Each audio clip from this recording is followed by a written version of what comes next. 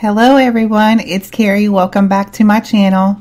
For today's video, I'm going to be doing a quick card using a stamp set from the Hedgehog Hollow January box. This is called To the Moon and Back, and this is the first time that I am using this stamp set. so I've gone ahead and mounted it into my um, stamping tool, my MISTI stamping tool, and I'm going to be doing some rainbow stamping. So as you watch me do the rainbow stamping, I'm going to put out a little disclosure. I've been a little sick the past week, so I apologize if I clear my throat quite a bit because it has been very sore and very raw. but I wanted to get this video up because it's been quite some time since I have posted a video and also this is my last post for the Hedgehog Hollow design team um, to be officially on their design team. I may do some guest designs uh, later in the year, but I have gone ahead and um, removed myself from the team because of me starting school and such um, and, and working part time. I just felt that it was a little bit too much to keep up with, and I really want to concentrate hard on um, my college courses that I am taking, particularly math.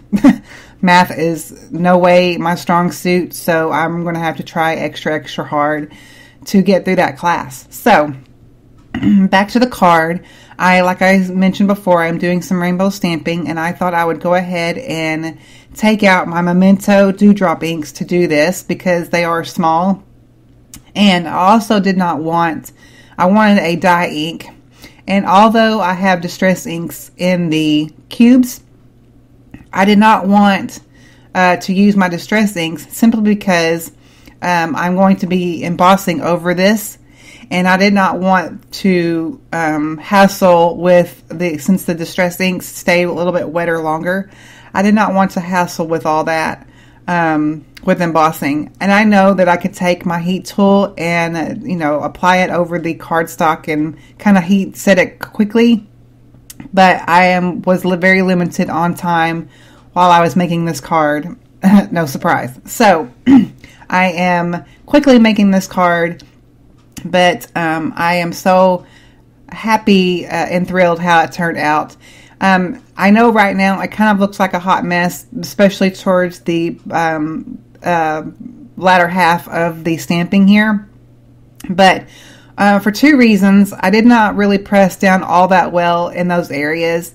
Two, uh, the stamp, excuse me, the stamp was obviously brand new that I had never used it before.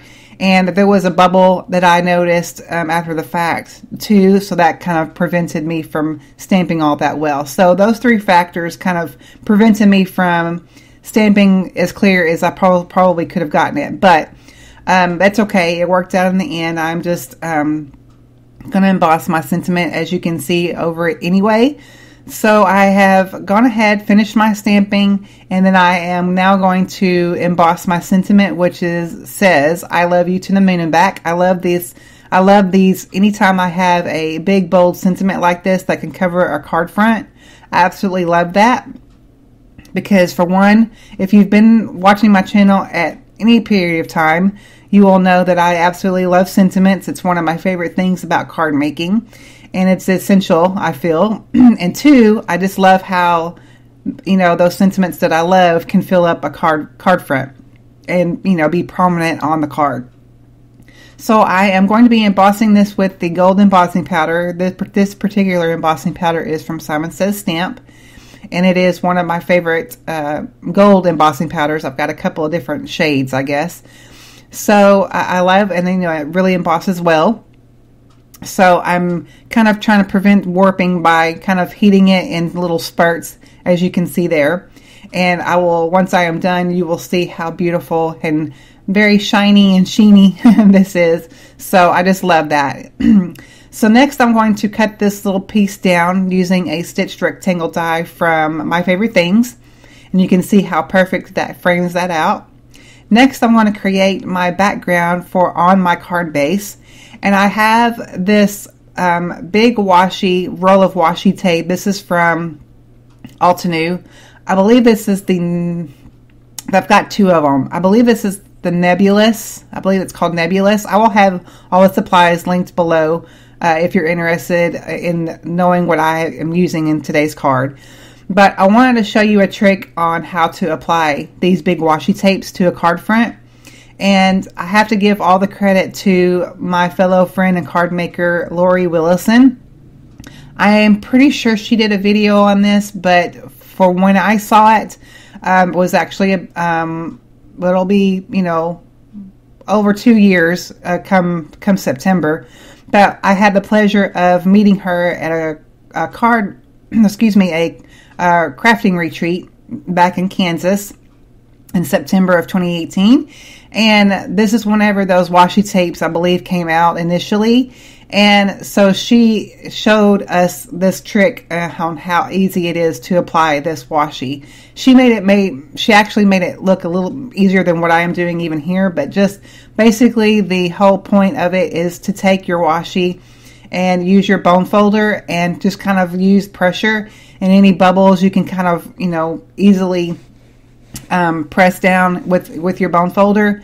But this kind of helps you to get it really even onto your card base that you're applying and is you know makes it super simple and you don't really have to fuss with it too much so i thought it would be cool to since i have this big old sentiment that says i love you to the moon and back and i love the fact that anytime that i do any type of rainbow stamping i love to incorporate some type of black somewhere whether it be a, a black card mat or my card base itself but I just thought it would be really cool to use this washi tape for something different because obviously it's, you know, kind of like a galaxy background and it kind of ties in with the theme a little bit. So just for something different. I did cut that down also with the same set of stitched rectangle dies from my favorite things. And so I've got two nice frames for my card. And I've also applied some foam adhesive on the back of my stamped panel. And it really does frame it out really nicely. So you can kind of see a little bit of that galaxy esque looking pattern, kind of peeking uh, around the whole entire uh, stamped sentiment panel there.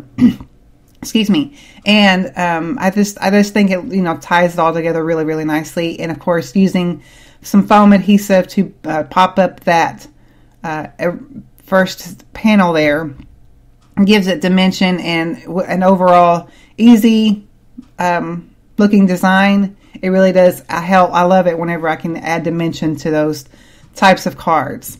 To finish up my card, I'm going to add a little bit of bling here, and this is the first time I'm actually using this.